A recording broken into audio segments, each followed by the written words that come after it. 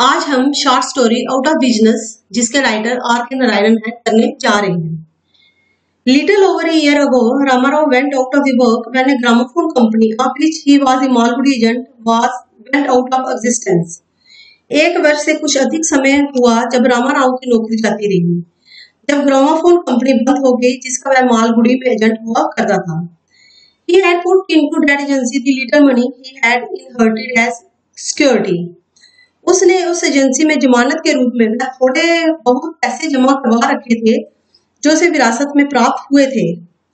For five years his business brought him enough money just enough to help him keeping his wife and children in good comfort पाँच वर्ष तक उसका वह धंधा उसे काफ़ी पैसे देता रहा।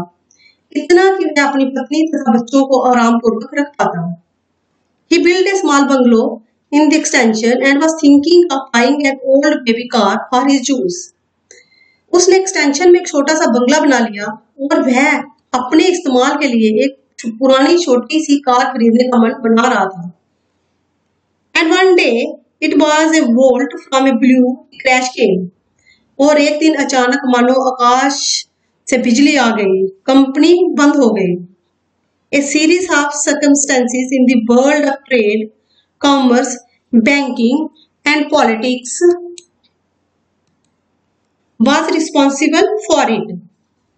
व्यापार वाणिज्य बैंकिंग और राजनीति के संसार में एक के बाद एक होने वाली परिस्थितियाँ इसके लिए जिम्मेवार थी। The gramophone company which had its factory somewhere in northern India automatically collapsed when a bank in Lahore crashed which was itself the result of a Bombay financier's death वह ग्रामोफोन कंपनी जिसकी factory उत्तर भारत में किसी जगह पर थी, स्वयं ही बंद हो गई।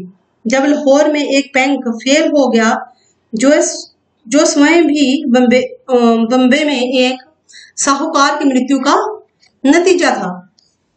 The financier was driving downhill when his car flew off sideways and came to rest 300 feet below the road. वह साहूकार कार द्वारा पहाड़ी के नीचे को आ रहा था कि जब उसकी कार तेज़ी से एक तरफ़ घूम गई और सड़क से 300 फीट नीचे जा गिरी। It was thought suicide because it previous night his wife and elope with had elope with his cashier ऐसा माना जाता है कि उसने हत्या कर ली थी, क्योंकि उससे पूर्व ही रात उसकी पत्नी, उसके खिजांची जिसको कैशियर बोलते हैं के साथ भाग गई थी। Rama Rao suddenly found himself in the streets Rama Rao ने अचानक स्वयं को सड़क पर बेकार पाया। At first he could hardly understand the full significance of this collapse पहले तो वह मुश्किल से ही इस आघात के पूर्व महत्व को समझ पाया।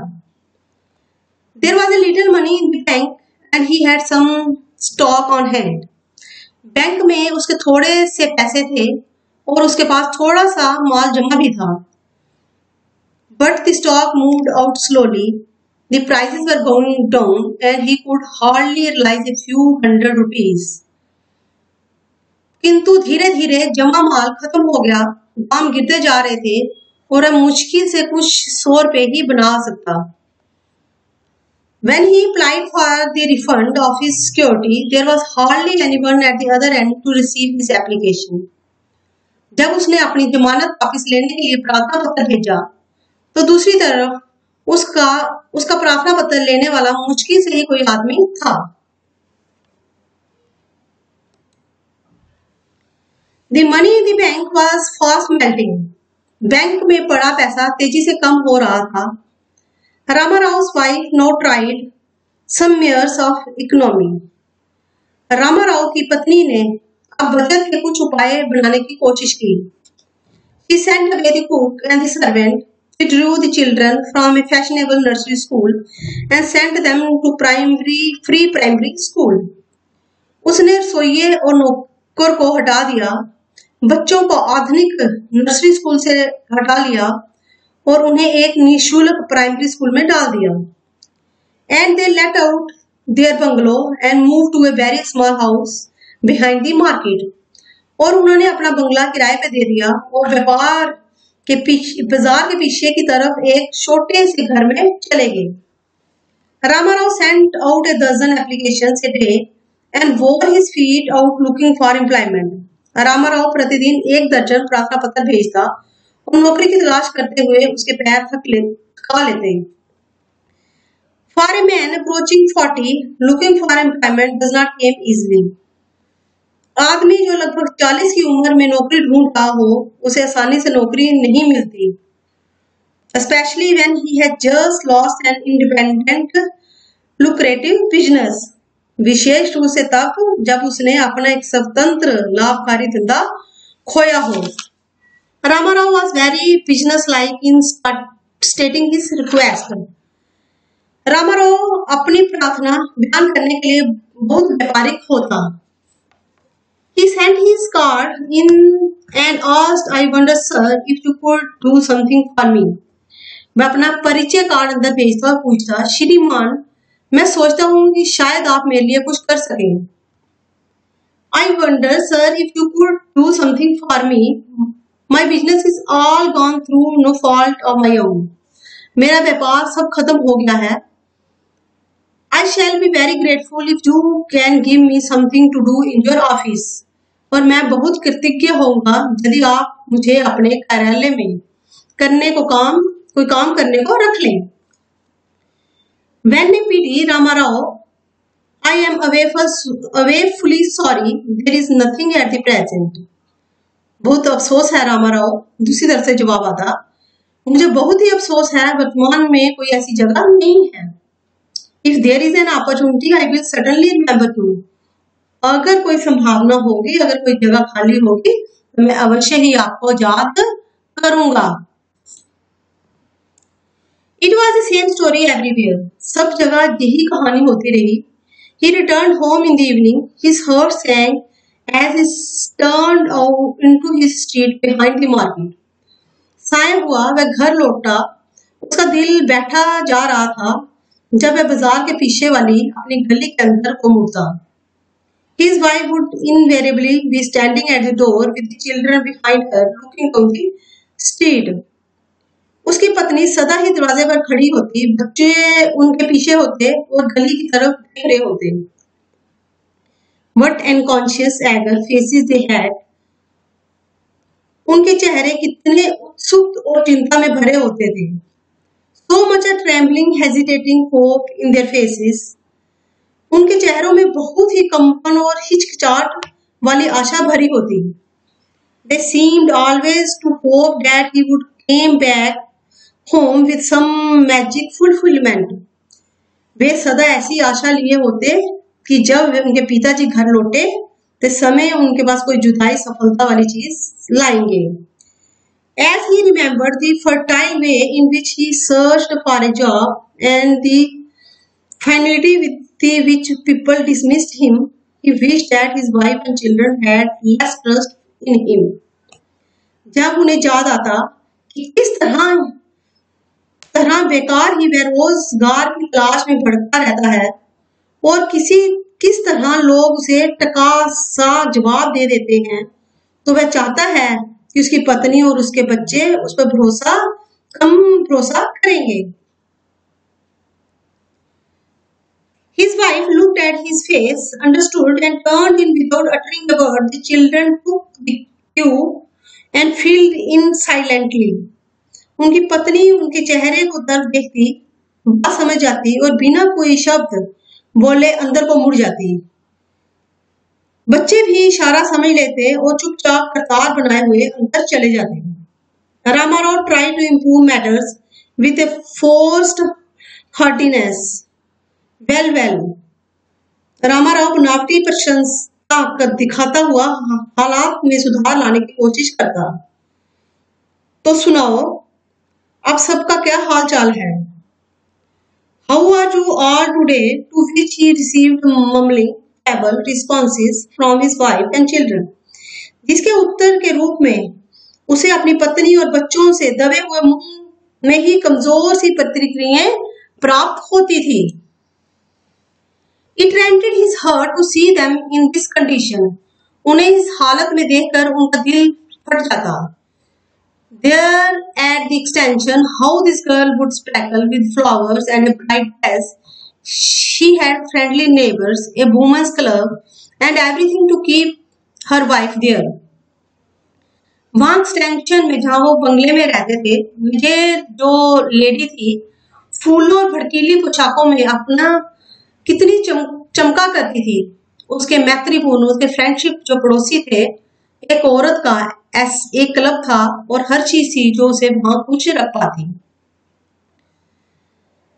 But now she hardly had heart or the need to change in the evenings for she send all her time port up in the kitchen किंतु अब सायकाल को वस्त्र बदलने का मुश्किल से ही उसका मन होता, जब उसकी ज़रूरत महसूस होती, क्योंकि अब वह सारा दिन रसोई घर में ही बंद रहती थी। एंड एंड चिल्ड्रन और बच्चे भी और फिर वे बच्चे भी the house in extension had a compound and they roamed out with a dozen other children. It was possible to have numerous friends in the fashionable nursing school. Extension में जहाँ उनका घर था, वहाँ एक आँगन था और वे दर्जन और बहुत सारे बच्चों के साथ इधर उधर कूदते, फूदते रहते उस अचान आधुनिक नर्सिंग स्कूल में उनके मित्र बनना संभव था But here the children had no friends and could play only in the backyard of the house. जहाँ पे उनका कोई भी फ्रेंड नहीं था, और बच्चे बैकयार्ड में जो पीछे का हिस्सा था घर का, पिछवाड़ा वहाँ खेलते थे। Their shirts are beginning to show tears and frays उनकी कमीजों में फटी हुई जगहें और घिसे होने के निशान दिखाई देने लगे थे। Formerly they were given new cloth once in a three months पहले के समय में उन्हें तीन महीने में एक बार नए कपड़े मिला करते थे। Ramarao lay in bed and spent speak sleepless nights over it. Ramarao बिस्तर में पड़ा रहता और इन बातों को सोचता हुआ बिना सोए हुए रातें गुजारता। All the cash in hand was no gone अब जो भी नकद पैसा उनके पास था, वो सब खत्म हो गया। Their only source of income was small rent they had getting from their house in the extension. उनकी कमाई का एकमात्र साधन थोड़ा सा किराया था जो उन्हें अपने बंगलों से जो एक्सटेंशन में था वहाँ से प्राप्त होता था They shuddered to think what would happen to them if their tenant should suddenly leave. Tenant वो किराएदार वे सोच कर काम उठता था कि उनका क्या होगा अगर उनके किराएदार अचानक उस घर से चले जाएँ। It was this connection that Ramarao across a journal in the Jubilee reading room. इसी संबंध में सोचने के दौरान रामाराव को जुबली रीडिंग रूम में अचानक एक पत्रिका मिली। It was it was called the captain और जिसका नाम कैप्टन था। It consisted of four pages and all of them was devoted to crossword puzzles इसमें चार पन्ने थे और वे सब पहेलियों से भरे हुए थे। It offered every week a first prize of four thousand rupees और इसमें हर सप्ताह चार हज़ार रुपया पहला इनाम की पेशकश की गई थी। For the next few days his head was free from family cares अगले कुछ दिनों के लिए उनका दिमाग परिवार की चिंताओं से मुक्त रहा। He was intensely thinking of his answers, whether it was should be tello or fellow. वह बहुत गहराई से उन उत्तरों को सोचता रहा और सोचता रहा, क्या इसका आंसर टेलो होगा? जब फेलो होगा। Whether bad or mad or sad would be most apt for the clue sad और बैड जब मैड जब सैड उस संकेत के लिए उसके उपयुक्त आंसर ढूंढता रहता। Man who are this had better be avoided कि मनुष्य जो इस प्रकार के होते हैं, उनसे बचकर रहना बेहतर होगा He hardly stopped to look at his wife and children standing in the doorway when he returned home in the evening. दरवाजे पर खड़ी उनकी पत्नी और बच्चों की तरफ़ मुटकी से ही देखता जब वह साए हुए घर लौटता, जैसे कि वो पहले आता था तो अपनी वाइफ और अपने बच्चों को ध्यान से देखता था, मगर जब वो मैगजीन में पजल्स डालने में बिज़ी हो गया और उन्हीं के आंसर ढूंढता रहता, उसके दिमाग में बड़ी बातें चलती रहती। अब वो अपनी पत्नी की तरफ़ देखता, भी नहीं था जब शाम को घर आता था। Week after week he invested a little money and sent down his solutions and every week he awaited the result with. हर सप्ताह वह कुछ पैसे लगा देता और अपने उत्तर भेज देता। और हर सप्ताह वह धड़कते दिल में, दिल से के साथ नतीजों का इंतज़ार करता रहता। On the day solution was due be hung about the news agent shop warming himself into his favor in order to have a look into the latest issue of the captain without paying paying for it. जिस दिन नतीजे आने होते, जिस दिन उस का result आना होता था वह समाचार पत्र वाली दुकान के आसपास मंडराता रहता। और उसके नजदीकी बनाने की कोशिश करता ताकि बिना पैसे लिए हुए वह वो जो कैप्टन थी जिसमें वो पजल्स डालता था, वो उसको दिखा दे। He was too impatient to wait till the came on the in the reading room वह इतना धीर हो जाता कि जुबली रीडिंग रूम वाले मेज पर पत्रिका के आने की प्रतीक्षा नहीं कर सकता था। Sometimes the news agent would grumble and Would press, pacify him with an awkward affected optimism. कई बार अखबार वाला बड़बड़ाता और तब रामाराव एक भड़गे से उम्मीद भरे ढंग से उसे शांत करने की कोशिश करता। Please wait when I get a prize I will give you three hundred year subscription in advance कहता कृपया इंतज़ार कीजिए। मतलब कि थोड़ा सा इंतज़ार कीजिए।